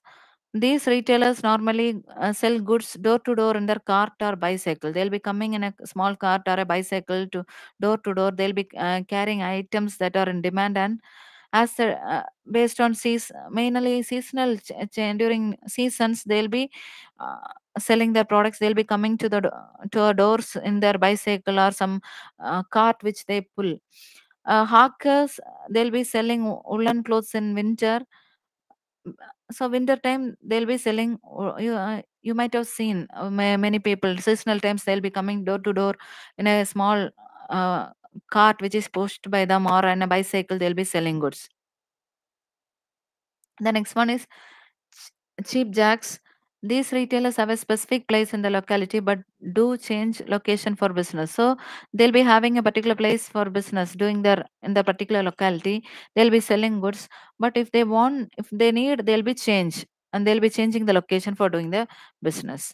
Example uh, selling unbranded items like clothes plastic vehicles kitchen utensils etc the next one is large scale retailers departmental stores discount store, chain stores, mail order houses, supermarkets, superstores, convenience stores, consumer cooperatives. These all are large scale retailers, retail shops. First one is departmental store. They have a wide variety of products being sold under one roof. So they'll be having different different types of products, everything so, sold under one particular shop. That is departmental store. Discount store, standardized items are sold at lower prices. That is what is discount store then chain stores, stores near residential areas selling the same kind of products in different localities. Now, example, they'll and they can be in the entire region, state or nation. Example, Nike stores, Dell, Raymond, Big Bazaar. These are the examples of chain stores. Then mail order houses. Through this, normally the seller shares information about the product via different means like advertising, press, post, catalog, telecalling, etc. So the buyer need not visit the seller, but he can order the product and they can receive the product through mail or post.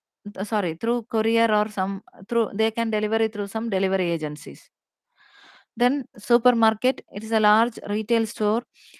They'll be selling a variety of consumer goods with self-service. So we are aware of supermarket. So they normally sell uh, daily needs like cold cream, bakery, vegetables, meat, groceries, fruits, etc. Superstores, they are oversized departmental stores and they are also known as hypermarkets. So they carry wide range of general merchandise and fast moving consumer goods. So salons, restaurants, everything will be operating in a single uh, roof. That is what is a hypermarket. Example, Lulu. Then convenience stores. There are uh, small stores that deal with in limited line of high selling goods at higher price. So they are they are like mini supermarkets. So they are located at the corner and have fast food franchise and food fast food items also. They are the convenience stores. So they are the small stores. So they'll be having only limited line of uh, line of high selling goods. The price will be uh, somewhat higher. Then consumer cooperatives, association of consumers, they themselves will be buying a buying products and they'll be selling uh, for non-members. Okay, consumers they'll be joining together. They'll be having an association, and from that association they'll be investing amount they'll be buying products and they'll be selling to uh, nearby localities that is what is conmi- consumer then types of retailing store re- retailing non-store retailing corporate retailing internet retailing service retailing so first one store retailing uh, so normally it includes different types of retail stores. So we all learned uh, right like departmental stores specialty stores supermarkets. They these are the store retailing they'll be having some stores or uh, some infrastructure uh, that is what is store retail. Non-store retailing means where a transaction happens outside conventional shops or stores. So, two types of uh, non-store retailing is there: direct selling and autom- automated vending the, ma- machines through automated vending. Uh, direct selling means where the company uses direct methods like door-to-door selling. Automated vending means some automated vending machines will be installed, and uh, and they'll uh, through that machine variety of products are sold based on the ne- there, there is there is no retailer or anyone required based on the needs the customer can go uh, purchase for some price through the vending machines then corporate retailing means retailing through corporate channels like chain stores franchising merchandising conglomerates. So they'll be focusing on retailing goods of only one parent or pa- uh, partner brand that is corporate retailing. Big, big corporate companies will be having different showrooms. So that is what is corporate retailing. Next one internet retailing through online means. They'll be selling their products. That is what is internet retailing. Next one is service retailing means so the uh, retailers not always sell tangible goods. They offer also con- services also like restaurants uh, hotels. So they are all the examples of service retailing. Then importance of retailing so normally retailing is important for creditors customers as well as the economy of the country. Retailer stores are the place where most of the actual sales of the customer takes place. So mainly sales takes place where when we look into not the manufacturing uh, company or somewhere uh, other. Mainly the actual sales takes place in the retail store only. So they act as both as a ma- marketing tools for the brands and a supporting tool for the customers to exchange and communicate important information. So retailing plays a major role, uh, role. It's a great asset to the economy. It provides jobs it adds to the gdp and acts as a preferred shopping channel during the hol- holiday season also. So functions of retailers buying and assembling of goods warehousing and storing the goods selling for final consumption promoting the brands credit facilities to the consumers. They bear the risk. They grade the product and pack the product. They they act as a source of market information. They give education to the customers related to the products. They cater to the needs of all kinds of customers. So these are all the um, functions of retailers. So first they buy they assemble the products. Second one they warehouse and store the products. Sell for final consumption. They promote the product. They provide credit facility to the customers. They bear all the risks.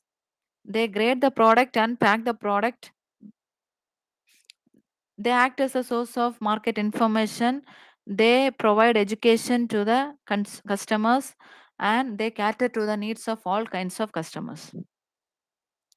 Then what are the factors determining the choice of channel of distribution? Okay.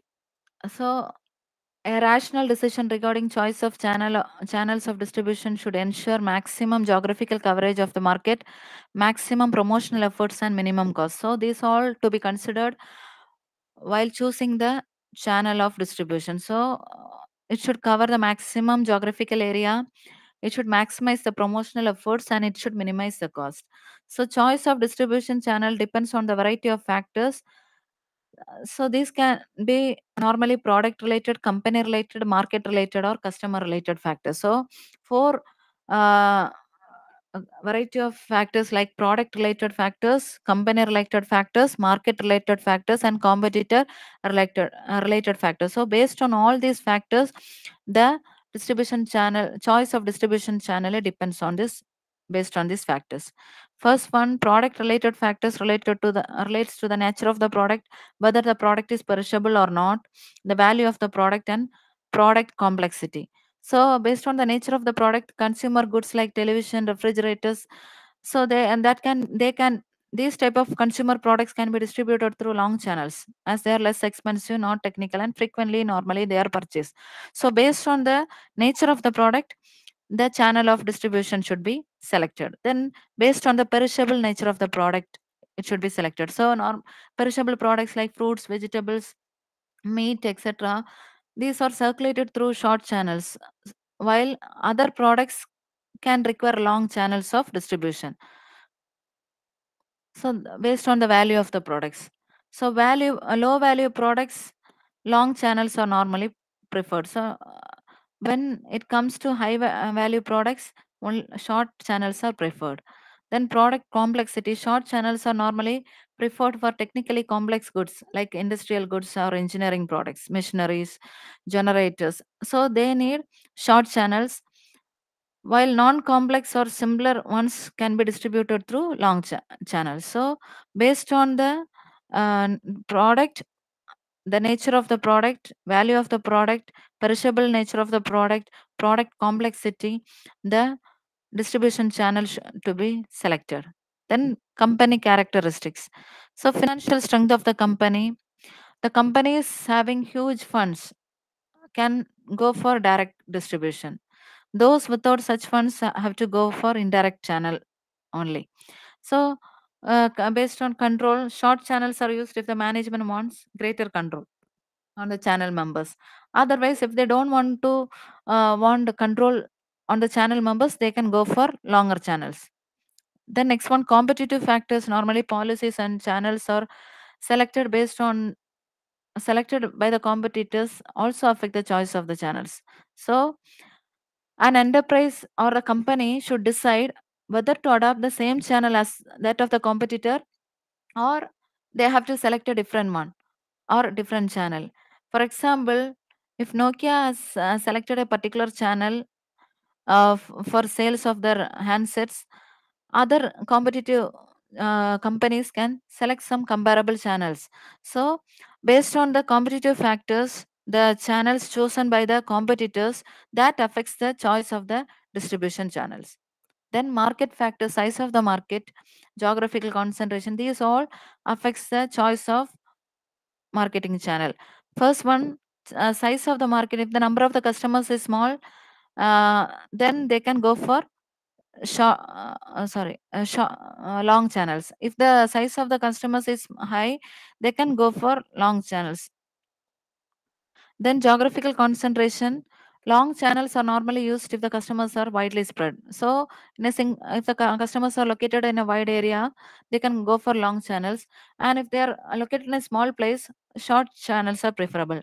So, based on the quantity purchase, uh, if more quantity is purchased, long uh, short channels are used, and they can use direct channel also. So, uh, in case of uh, the size of the quantity is small, then they can prefer long channels of distribution. So, uh, from distribution strategies, I'll be uh, taking in the next session. Okay. So, till this, uh, till the factors determining choice of uh, channels of dis- distribution, if you have any doubts, you can ask me.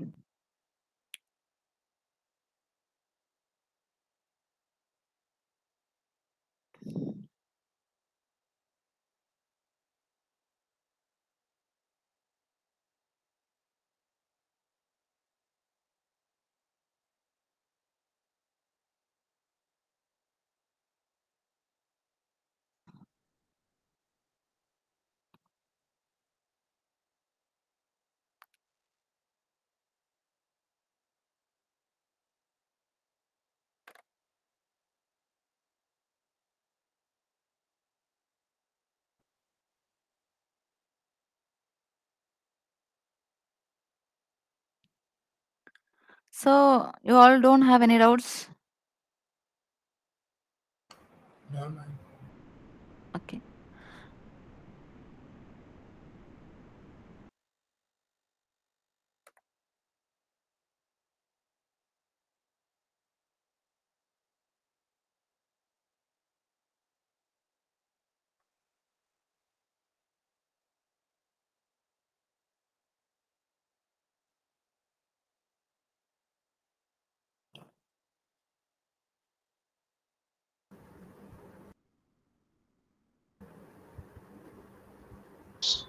hello, ma'am. Hello.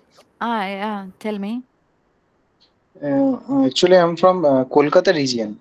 Kolkata region and Tiruvananthapuram region are same right now. Just, Yeah, yeah yeah. same. Oh, okay, okay.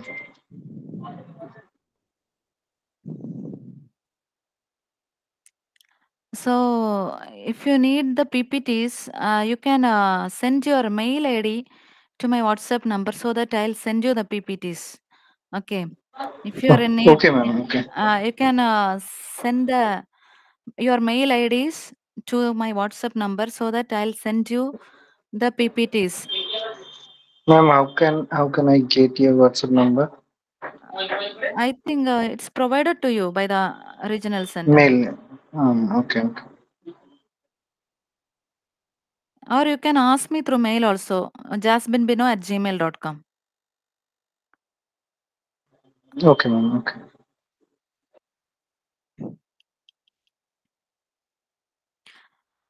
Regarding attendance link, it's not necessary. The regional center will be recording your attendance, so it's not, not necessary for my session.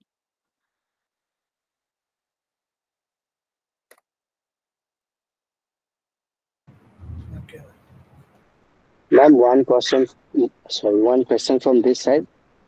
Ma'am, Yeah, how uh, how to complete the assignment? Um, I don't have any idea, so I'm just asking you how to complete the assignment and how we have to submit that. I think you have to, uh, you can refer everything in the website. Every details are provided in the website provided, um, website of your regional center. Everything's, every details uh, related to your exams, related to your ass- assignments, everything are provided in the website. You can clarify everything through through that website itself. Ma'am, but if there is any doubt, then how will we?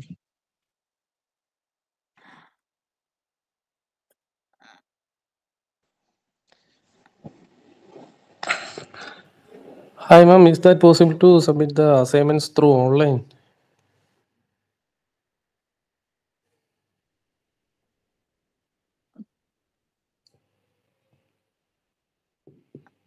Uh, From where did you get the assignment question?